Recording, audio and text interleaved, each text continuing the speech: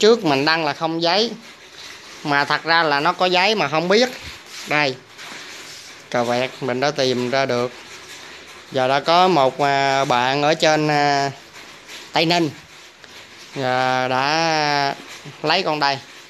Ok và bây giờ mình sẽ chuyển cái con này đi ra bến xe miền đông để à, gửi về cho khách. Hiện giờ trời đang rất là mưa.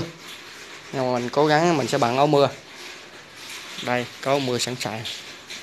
Đang uh, ờ, vô mùa bão. Bão giờ mới quét qua phú yên. Ngập ta la me luôn. Thôi ráng ờ, đi gửi luôn cho nó xong. Rồi chút xíu nữa chúng ta sẽ coi ở ngoài bến xe nha.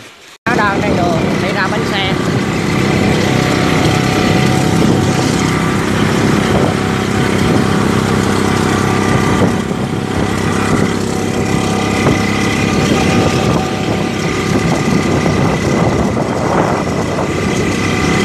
ok rồi giờ xe đang được gửi về lộc ninh bù đốp.